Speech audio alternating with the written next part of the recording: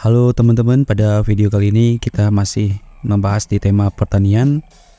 Kita akan membahas terkait dengan tema yang akhir-akhir ini banyak dicari dan juga menjadi pembahasan menarik di kalangan petani, yaitu dengan tema SRI atau SRI atau System of Rice Intensification.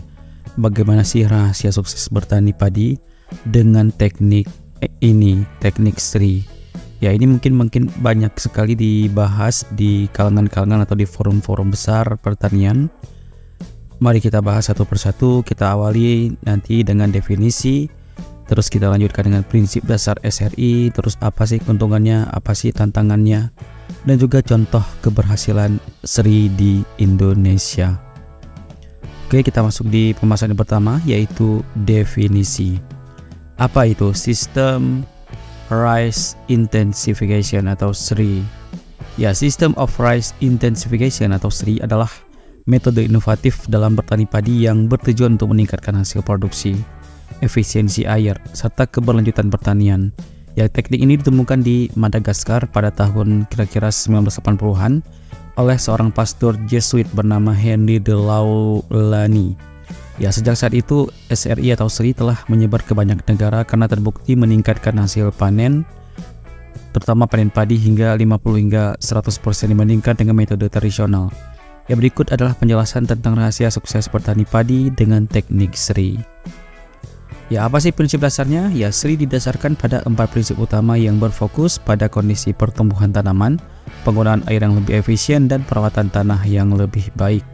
Ya, prinsip yang pertama yaitu bibit yang lebih muda dan sehat. Ya, bibit padi ditanam pada usia yang sangat muda yaitu sekitar 8 hingga 12 hari setelah semai saat mereka masih memiliki daun 2 hingga 3 lembar. Ya, bibit muda ini lebih cepat beradaptasi di lahan dan memiliki akar yang lebih kuat dan memungkinkan tanaman untuk tumbuh dengan optimal. Prinsip yang kedua yaitu penanaman dengan jarak lebih jauh.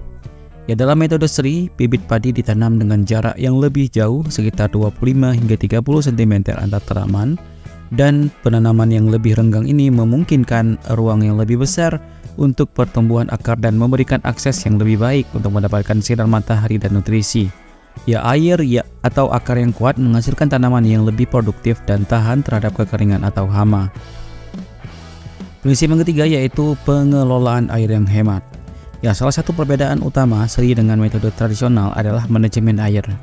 Ya, pada metode konvensional, sawah biasanya digenangi air sepanjang musim tanam, namun pada metode seri, sawah tidak selalu tergenang air. Petani menggunakan sistem irigasi berselang atau berselang-seling atau intermittent irrigation, di mana lahan dibiarkan kering selama beberapa hari sebelum dialiri air.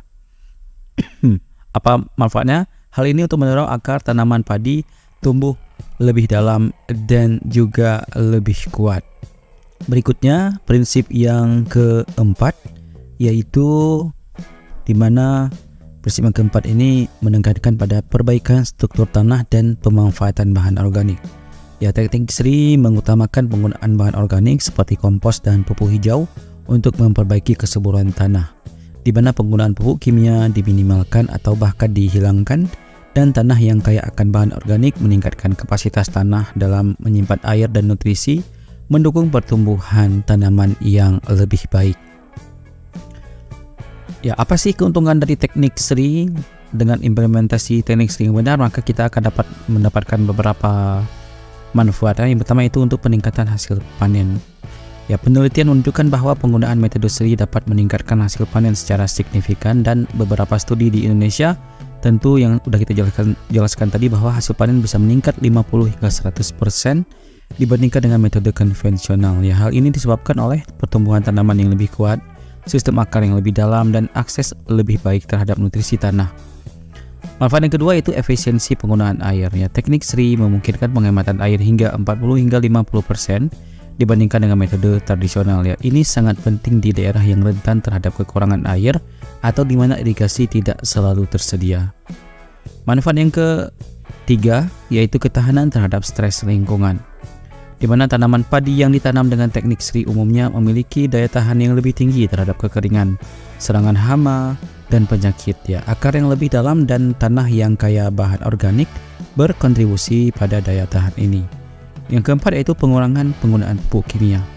Ya, dengan berfokus pada bahan organik, teknik Sri membantu mengurangi ketergantungan pada pupuk kimia yang sering kali mahal dan berpotensi merusak lingkungan dalam jangka panjang.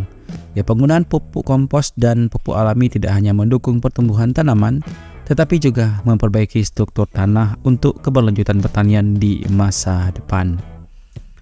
Ya, setelah kita ketahui manfaatnya, ada juga tantangan yang kita hadapi nantinya.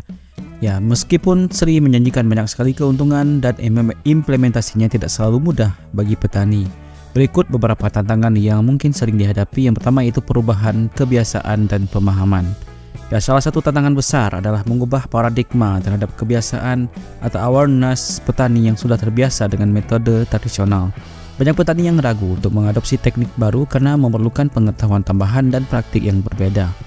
Tantangan yang kedua itu keterbatasan akses ke bahan organik. Ya, Sri banyak menekankan eh, penggunaan bahan organik seperti kompos, tetapi di beberapa daerah petani mungkin tidak memiliki akses mudah ke sumber bahan baku tersebut atau bahan organik tersebut. Dan tantangan yang ketiga itu pengelolaan air yang rumit ya. Pengelolaan air dalam Sri memerlukan sistem irigasi yang baik dan kontrol air yang ketat. Jadi daerah ini banyak sekali infrastruktur irigasi kurang memadai dan penerapan teknik ini bisa menjadi lebih sulit. Ya, contoh kasus keberhasilan SRI atau SRI di Indonesia di mana beberapa wilayah di Indonesia telah menerapkan SRI dengan sukses, menghasilkan peningkatan produksi dan efisiensi pertanian padi. Misalnya di wilayah Jawa Timur, petani yang menggunakan metode SRI berhasil meningkatkan hasil panen dari rata-rata 4 hingga 5 ton per hektar menjadi 8 hingga 10 ton per hektar. Ya, hal ini menjadi bukti bahwa dengan manajemen yang baik, teknik SRI dapat diterapkan dengan baik dan dengan hasil yang luar biasa. Ya, selain itu beberapa inisiatif dari pemerintah dan LSM tentu membantu memperkenalkan teknik ini kepada petani di berbagai daerah di Indonesia. Program pelatihan dan penyuluhan pertanian yang berfokus pada teknik SRI membantu petani memahami dan mengadopsi metode ini dalam praktek sehari-hari.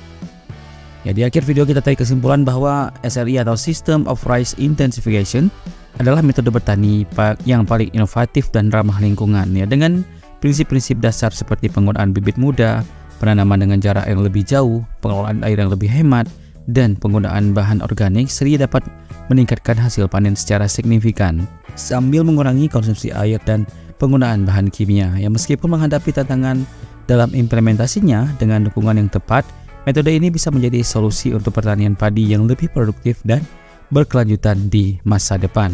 Demikian informasi yang bisa kita berikan terkait dengan rahasia sukses bertani padi dengan teknik Sri. Semoga bermanfaat dan sampai jumpa di video-video informasi bermanfaat berikutnya.